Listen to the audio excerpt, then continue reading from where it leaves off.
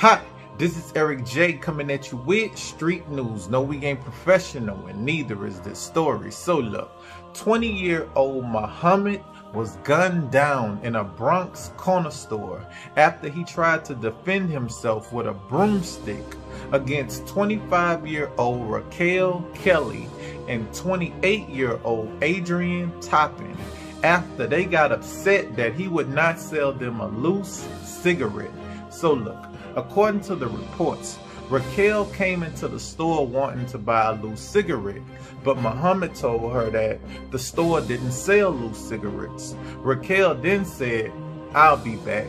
Moments later, she returned with 28-year-old Adrian Topping, and they both proceeded to argue with Mohammed about selling them a loose cigarette. During the exchange of words, Raquel took a swing at Mohammed. Mohammed then picked up a broomstick to fight them off. And that's when Adrian pulled out a gun and shot Mohammed in the stomach and ran out of the store. 25-year-old Raquel Kelly was not charged in the murder, but she was handcuffed for possession of drugs after cops found a crack pipe and crack residue on her. Listen, Adrian, do you realize you just thrown your whole life away behind one cigarette that wasn't even for you? How can you get that upset and angry about how someone else choose to sell their products in their store? If he didn't want to sell Raquel a loose cigarette, he didn't have to. And if God smiles on that family the way that they want him to, you will never know what it's like to be released from prison. But hey, that's what you signed up for.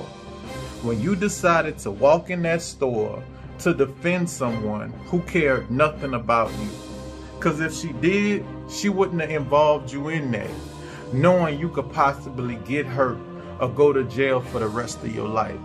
She came got you to do the things that she wasn't willing to do. And that was go to prison for the rest of her life behind a cigarette. You about to go to prison behind a cigarette. Listen at how stupid and ridiculous that that sound. You shot someone and killed him behind one cigarette. But what really should make you feel stupid and dumb is watching Raquel walk away.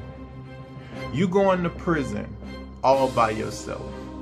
Listen, Adrian, Mohammed didn't play you. Mohammed wasn't your enemy. Raquel was. And while you alone in prison, Raquel gonna be out here smoking crack and still being told no, she can't buy loose cigarettes.